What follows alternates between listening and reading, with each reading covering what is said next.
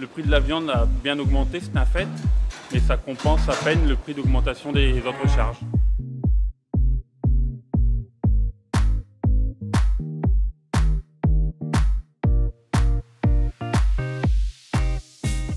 Il y a euh, un troupeau de 85 vaches allaitantes, euh, race blonde d'Aquitaine, et il y a 140 gibets à l'engraissement, dont une centaine de broutards en achat.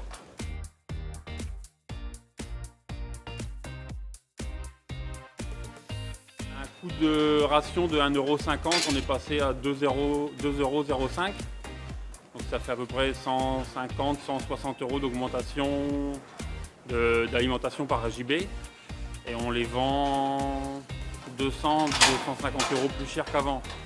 Mais le prix du, faut savoir que le prix du broutard a bien monté.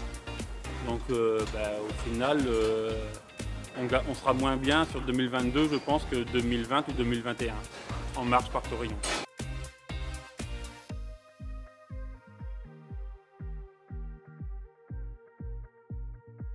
Du correcteur azoté, là c'est un mélange de, qui fait 42 de protéines. Il y a du colza, du soja, euh, un petit peu d'urée, euh, ça et puis du milurex.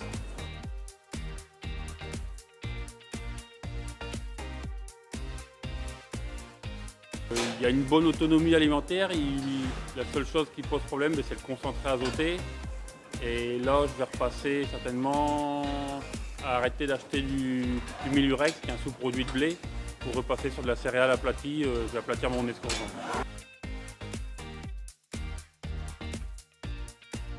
En général, j'achète euh, avec des contrats quand les prix sont intéressants, euh, deux, trois camions d'un seul coup.